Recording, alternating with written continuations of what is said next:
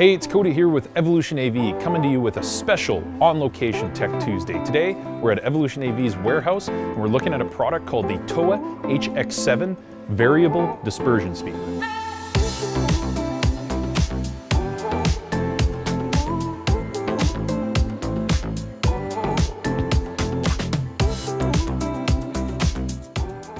So, the trend on Tech Tuesday has been me standing here with some handheld gadgets that we think are really neat. But we forget that in AV, we deal with some pretty loud in-your-face technology as well. Introducing the HX7.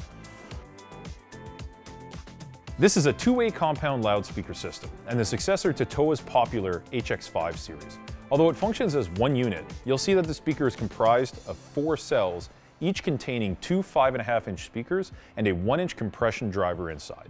Basically, TOA created something like a mini line array system.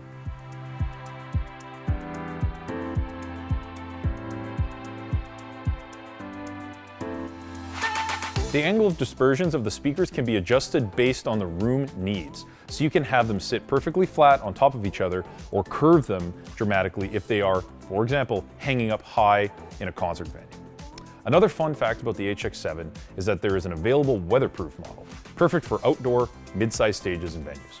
The general use case for something like this would be a church, an auditorium, and a medium-sized concert venue. However, due to the HX7's ability to stack two units on top of each other, the speaker's use case could go as far as to fill school gymnasiums, theaters, arenas, and even stadiums if desired.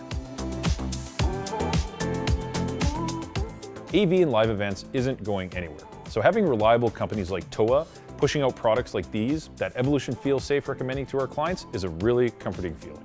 When it comes to showtime, nothing can go wrong, and we trust that TOA speakers will have the ability to perform perfectly.